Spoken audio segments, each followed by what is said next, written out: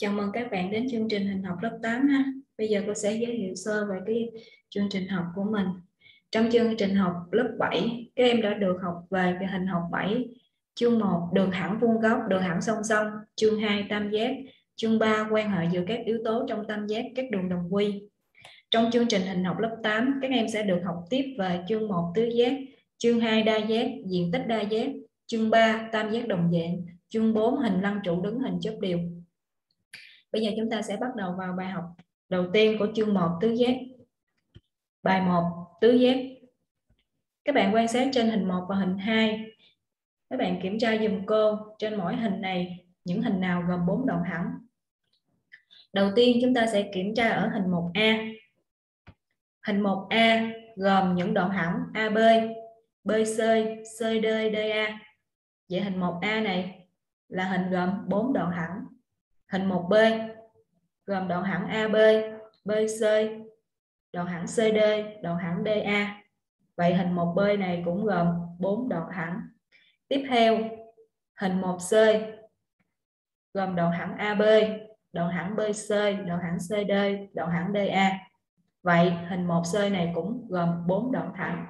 Hình 2, đoạn thẳng AB, đoạn thẳng BC, đoạn thẳng CD, đoạn thẳng DA và hình một, hình hai này cũng gồm bốn đoạn thẳng vậy là hai hình này đều thỏa mãn điều kiện thứ nhất của cô là hình gồm bốn đoạn thẳng kiểm tra tiếp cho cô cái điều kiện thứ hai. Bất kỳ hai đoạn thẳng nào cũng không cùng nằm trên một đường thẳng hình nào thỏa mãn điều kiện này bạn? Đó là hình hình một. Hình hai có thỏa mãn không ạ? À? hình hai không thỏa mãn điều kiện này lý do là trên hình 2 có hai đoạn thẳng BC và đoạn thẳng CD cùng nằm trên một đường thẳng BD. Vậy khi đó hình hai này không thỏa mãn điều kiện thứ hai của cô. Một hình mà gồm bốn đoạn thẳng và điều kiện thứ hai, bất kỳ hai đoạn thẳng nào cũng không cùng nằm trên một đường thẳng thì chúng ta gọi hình đó là một tứ giác. Vậy tứ giác ABCD là hình như thế nào? Tứ giác ABCD là hình gồm 4 đoạn thẳng AB, BC, CD, DA. Trong đó bất kỳ hai đoạn thẳng nào cũng không cùng nằm trên một đường thẳng. Chú ý cách đọc của cái tam giác tứ giác ABCD. Ngoài cách đọc tứ giác ABCD ra, chúng ta còn có những cái cách đọc khác, cách viết khác là chúng ta có hỏi viết tứ giác là tứ giác B, C, D, A, hay là tứ giác B, A, D, C? Mình có hỏi xuất phát từ đỉnh C. C, D, A, B. Tứ giác C, B, A, D. Khi mà mình đọc hay là mình viết, mình phải đi cái vòng khép kín như thế này dùm cô nha. Mình không đọc tứ giác này là tứ giác A, B, D, C. Không đọc như vậy nha các bạn. Mà mình hãy đọc là đúng là tứ giác A, B, C, D các điểm A, B, C, D gọi là các đỉnh các đoạn thẳng AB, BC, CD, DA thì chúng ta gọi nó chính là các các cạnh. Vậy một tứ giác của chúng ta nó sẽ có bốn đỉnh và có bốn cạnh. Được chưa nào các bạn? Rồi bây giờ chúng ta hãy trả lời dùm cô cái chấm hỏi một trong sách giáo khoa này. Trong cái tứ giác ở hình 1 đó, hình 1 này chúng ta xét nó là tứ giác rồi ha. Tứ giác nào luôn nằm trong một nửa mặt phẳng? Có bờ là đường thẳng chứa bất kỳ cạnh nào là của tứ giác. Vậy bây giờ cô sẽ lấy một cái cây thước cô đặt trên một cái đường thẳng nằm trong cái tứ giác. Bất kỳ ha, cạnh nào cũng được. Vậy giờ cô sẽ lấy cái bờ là AB khi mà đặt bờ là AB thì bạn thấy cái tứ giác của chúng ta nằm ở một nửa mặt phẳng ha? Tương tự như vậy đặt bờ là AD thì tứ giác của chúng ta cũng cùng nằm trong một nửa mặt phẳng. DC, CB, tứ giác cũng đều nằm trong một nửa mặt phẳng. Vậy hình A này hỏi mãn chưa các bạn? Rồi vậy chúng ta kiểm tra tiếp ở hình hình B. Hình B nếu như mà cô đặt trên AB, đặt hướng trên AB á, thì chúng ta thấy là tứ giác này cũng nằm trên một nửa mặt phẳng. Nhưng khi mà mình đặt trên BC thì tứ giác của chúng ta nó nằm ở hai nửa mặt phẳng. Tương tự như vậy ở hình C khi đặt trên cạnh BC thì tứ giác này nằm trên hai nữa mặt phẳng vậy, ở hình 1A tứ giác đó hỏi mãn điều kiện của mình.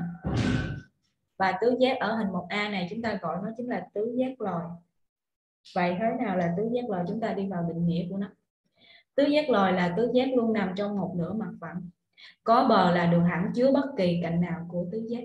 Nhớ là tứ giác luôn nằm trong một nửa mặt phẳng. Chú ý, từ nay khi nói đến tứ giác mà không nói gì thêm, thì ta hiểu đó là tứ giác rồi. Khi người ta yêu cầu chúng ta vẽ một cái tứ giác, ha, thì chúng ta cứ việc vẽ cái tứ giác này cho cô. Và tiếp theo chúng ta sẽ làm dùm cô cái chấm hỏi hai. Quan sát tứ giác ABCD ở hình 3 rồi điền vào dấu trống rồi. Câu A, hai đỉnh kề nhau A và B. Hai đỉnh kề nhau A và B. Vậy nó cùng nằm trên trên một đoạn thẳng ha bạn. Tương tự như vậy vậy là hồi nãy chúng ta biết tứ giác thì nó có bốn cạnh đúng không? Thì khi đó chúng ta sẽ có tiếp theo là cạnh gì? BC thì là đỉnh B và đỉnh C. Đỉnh C và đỉnh D. Đỉnh D và đỉnh A. Hai đỉnh đối nhau đối nhau. A và C thì tiếp theo sẽ là B và B và D. Đường chéo đường chéo thì chúng ta sẽ kẻ cái đường chéo AC thì tương tự như vậy thì chúng ta sẽ có được cái đường chéo thứ hai chính là đường chéo B BD hai cạnh kề nhau kề nhau AB và BC tiếp theo sẽ là AB nè và BC nè. tiếp theo sẽ là BC và CD rồi tiếp theo CD và DA cuối cùng DA và AB hai cạnh đối nhau AB và CD à, BC và AD góc thì chúng ta sẽ có là được là góc góc A góc B góc C và góc D. Hai góc đối nhau góc A và góc C góc B và góc D. Điểm nằm trong tứ giác, thì chúng ta thấy có hai điểm chính là điểm B và điểm M. Tương tự như vậy, điểm nằm ngoài tứ giác thì chúng ta có được điểm Q và N vậy tóm lại trong phần 1 nãy bạn nắm cho cô được cái định nghĩa tứ giác và định nghĩa tứ giác lòi ha. Bây giờ chúng ta sẽ chuyển tiếp cho cô phần 2 nhỏ. Tổng các góc của một tứ giác. Đầu tiên, nhắc lại dùm cô ở chấm hỏi 3 nhắc lại định lý về tổng ba góc của một tam giác. Đây, chúng ta có được tam giác ABC trong một tam giác thì tổng số đo ba góc bằng 180 độ vậy tổng số đo của tam giác ABC sẽ là góc A cộng góc B cộng góc C bằng 180 độ ở câu B Vẽ tứ giác ABCD tùy ý dựa vào định lý về tổng ba góc của một tam giác. Hãy tính tổng góc A, góc B, góc C và góc D. Vậy bây giờ chúng ta sẽ vẽ một cái à, tứ giác tùy ý vào trong trong tập mình ha. Rồi đặt tên vào. Nhớ đặt tên phải đi theo một vòng khép kín nha bạn. Rồi.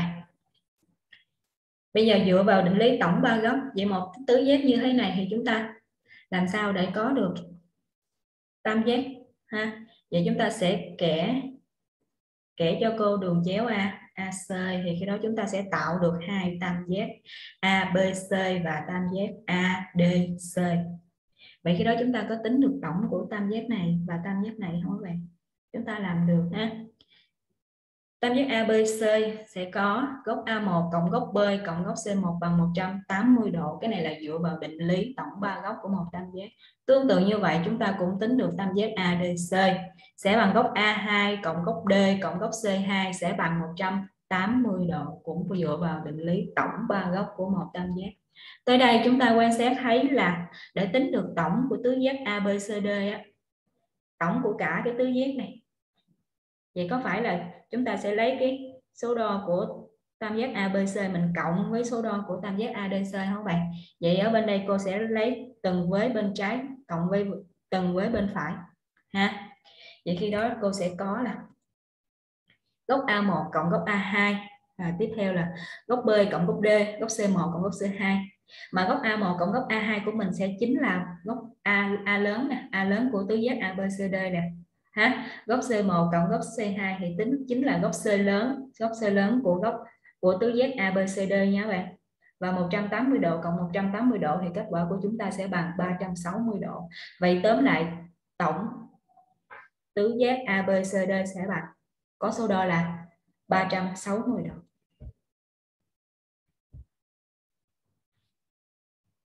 Rồi tới đây bạn ghi bài hoàn chỉnh và đầy đủ vào trong tập cho cô ha. Rồi. Chúng ta sẽ chuyển sang cho cô bài tập bài tập 1 sách giáo khoa trang 66. Tìm ít ở các hình sau. Hình 1.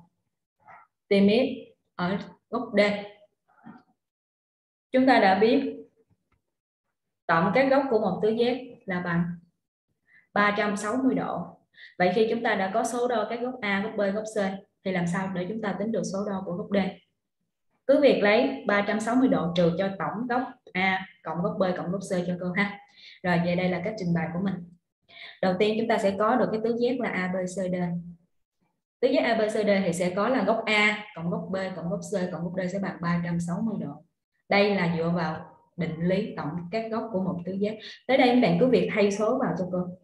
Chỗ góc A thì hay đúng số đo của góc A nha các bạn. 110 độ cộng 120 độ cộng 80 độ và cộng x bằng 360 độ. Tới đây chúng ta tìm x, x chúng ta sẽ bằng 360 độ trừ cho cái tổng 110 độ cộng 120 độ cộng 80 độ. Tới đây chúng ta sẽ được kết quả là x bằng 50. Được chưa lớp? Ha, chỉ của chúng ta sẽ bằng 50.